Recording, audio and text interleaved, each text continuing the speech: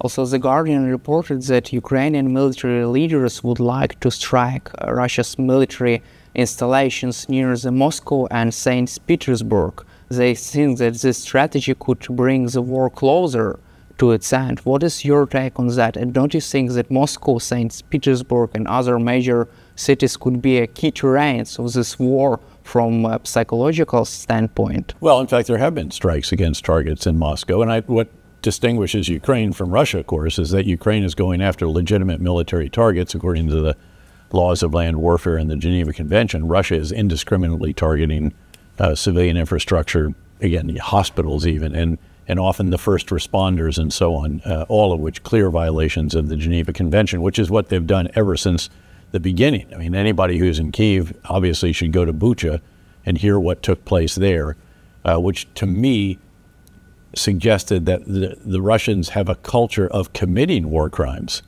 not a culture of trying to observe the Geneva Convention. Uh, look, I was privileged to command two wars and had five combat commands as a general officer. There were mistakes made. Civilians were killed. We had Abu Ghraib. We had other terrible mistakes. But we tried very hard to adhere to the Geneva Convention and the laws of land warfare. Russia seems to me tries to not pay attention to them. Uh, and so, sure, uh, everything that is a military, legitimate military target should be targeted. The challenge, of course, is that there's always trade offs.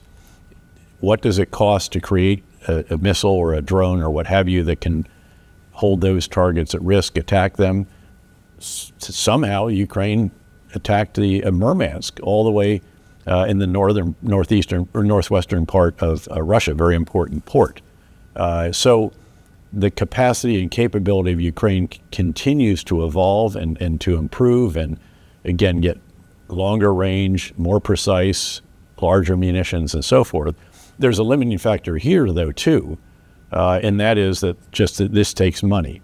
Uh, and I sat with the minister, former minister of uh, strategic industries the other night with all of the other ministers and people that are leading various efforts. Uh, you'll have heard there was a public announcement that Ukraine wanted to manufacture a million drones in a 12 month period. That's already now, it's several times that. I don't want to get more precise than that. But, and it could be even more. The capacity is much greater. The limiting factor is not capacity, it's actually the money uh, to uh, enable the uh, use of that capacity. So th- these are all ongoing. They're very, very impressive. We should be doing everything we can to enable them, but noting that there are always going to be trade offs. You cannot do everything everywhere all at once you have to figure out where you're going to focus. And, and that, I think, is ongoing as well because we had good conversations with other uh, leaders who are the ones that are guiding the overall strategy and the overall approach to this war.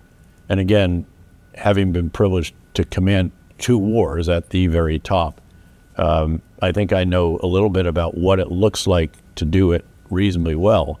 Uh, and the Ukrainian leaders are doing magnificently.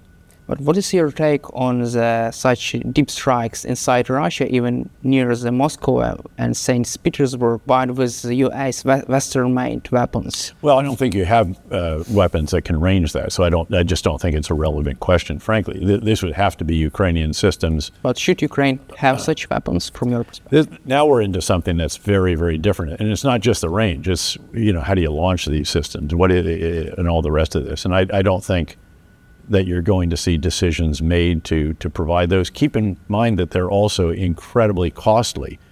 We can afford that.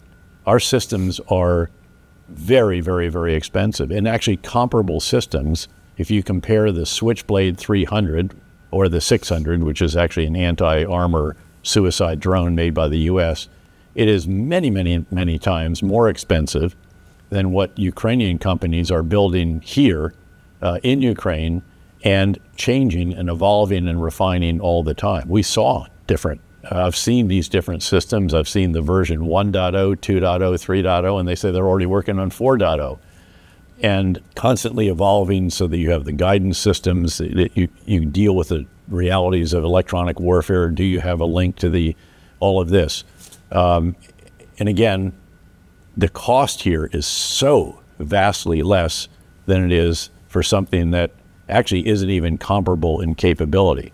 But if you start to get into the world of the really long range munitions, you're talking about shooting huge sums of money downrange. And I just don't think, in 61 billion is a lot of money, but then you slice it into the categories and you figure what category would fund that kind of presidential drawdown authority and transfer. And you're going to, that money is going to go pretty quickly, which is one reason why it's great, for example, that other NATO countries are providing the F 16s instead, instead of the U.S. having to do that because the cost of those is so substantial.